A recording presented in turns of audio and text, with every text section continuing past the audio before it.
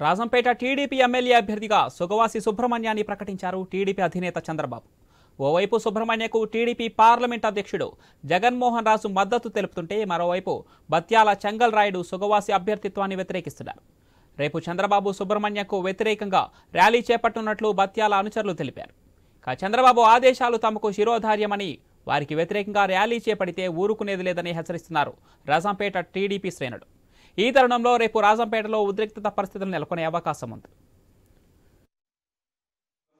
నా పేరు భానుగోపాల్ రాజు వీరపల్లి మండలం పార్టీ అధ్యక్షుడిని మాకు చంద్రబాబు గారు సువాసి సుబ్రహ్మణ్యం గారిని అభ్యర్థిగా రాయంపేట అభ్యర్థిగా నియమించినారు. మాకు ఆయన ఆదేశాలే శిరోధారి. ఆయన అభ్యర్థిగా నియమించినారు. ఖచ్చితంగా ఆయన విజయానికి అందరం కలిసికట్టుగా కృషి చేస్తాం.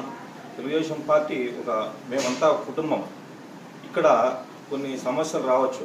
కానీ మా మా పార్టీ పెద్ద అయినటువంటి చంద్రబాబు గారు తీసుకున్న నిర్ణయానికి అందరం కట్టుబడి ఉంటాం. ఖచ్చితంగా మా అభ్యర్థిని గెలిపించుకుంటాం. నా పేరు గంగ సుబ్రహ్మణ్య నాయుడు రాజంపేట తెలుగుదేశం పార్టీ మండలాధ్యక్షుడు గోవర్ధన్ నుంచి. అధ్యక్షుడిని. ఇక్కడ ప్రెస్ మీట్ పెట్టడానికి కారణం ఏంటంటే రాజంపేట అసెంబ్లీ నియోజకవర్గము ఖచ్చితంగా ఇక్కడ గెలిచి ఆ ప్రభుత్వం అధికారంలోకి వస్తుంది గవర్నమెంట్ అనేది ఆదరించి కూడా మనకందరికీ తెలిసిందే.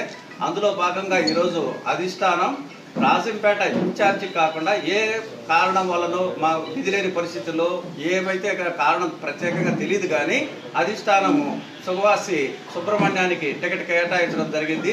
ఆ అందులో భాగంగా మేమైతే ఇక్కడ ఇక్కడుండే మండల మండలాధ్యక్షుడా లేదంటే నేను పార్లమెంట్ లీగల్ సెల్ అధ్యక్షుడిగా మేమంతా కూడా పార్టీకి కట్టుబడి పార్టీ అధిష్టానం ఏమి చెప్తే దాన్ని కరుడుగట్టిన కార్యకర్తల వర్క్ చేయడమే మా ఉద్దేశం. ఆది నుంచి కూడా బాస్ ఈజ్ ఆల్వేస్ రైట్ అనే